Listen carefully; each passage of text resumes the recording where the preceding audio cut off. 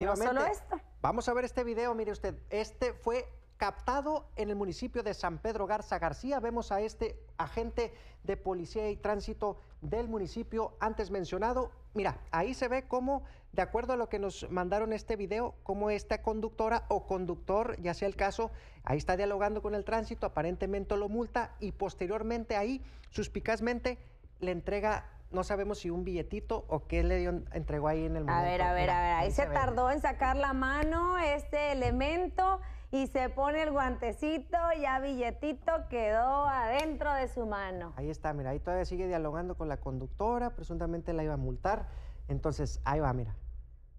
Ahí Vaya con captado. Dios, doñita. Gracias por la coca que me está regalando. Ahí el se ve este vehículo, es una camioneta en color blanco, pero el oficial también ahí fue captado. Nos mandaron este video, omitimos obviamente más detalles por la cuestión de que evitar represalias hacia la, hacia la persona que nos comparte este video aquí a Telediario del 6. Es el delito de cohecho, Dani. Este, Claro. Una práctica muy común desde hace mucho tiempo y que nunca se ha podido erradicar en Y- ningún lugar del área metropolitana. Y como dicen. Yari, por eso estamos como estamos. Si no, inténtalo hacerlo en Estados Unidos para que veas cómo te va, porque claro, allá los elementos policiales ni de tránsito dan su brazo a torcer, entonces donde tú intentes sobornarlo, te va peor. Es mejor, mire, quedarse callado, entregar sus papeles y pues pagar la multa por la infracción de tránsito. En este caso, pues ahí ya las autoridades que hagan lo propio con el video porque se ven las placas tanto del vehículo como de la motocicleta. El artículo 222 del Código Penal Federal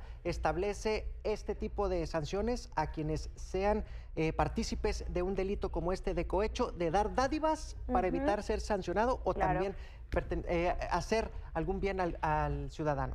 Ahí está, espera, no, no nos quiten el video, ahí está el momento donde mete más la mano, como que ¿para qué mete más la Ah, mano?